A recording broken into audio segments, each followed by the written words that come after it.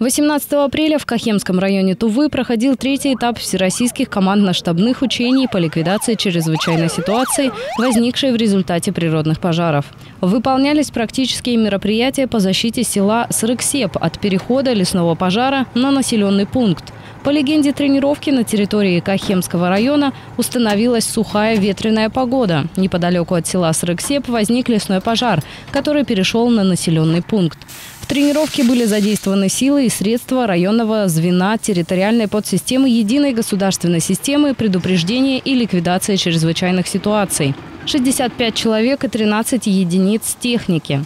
Отмечается, что федеральные командно-штабные учения проходили в течение трех дней с 16 по 18 апреля. В ходе масштабных учений в субъекте отработан целый комплекс мероприятий. Оповещение сбор руководящего личного состава органов управления. Уточнение планов действий по предупреждению и ликвидации ЧС.